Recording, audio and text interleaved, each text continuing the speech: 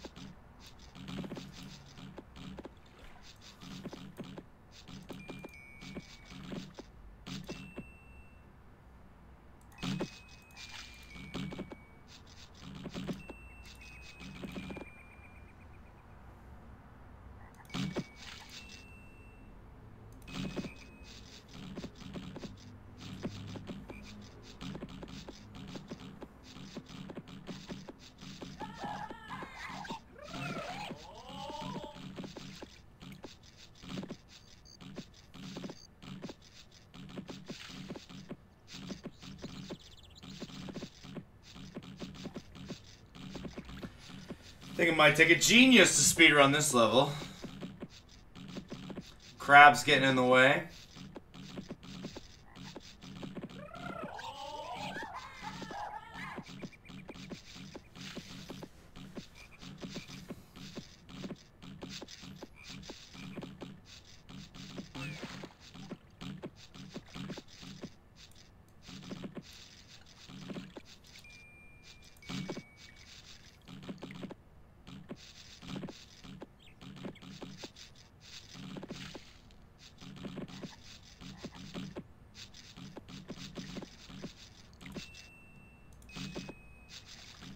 I'll take this. This is the new record.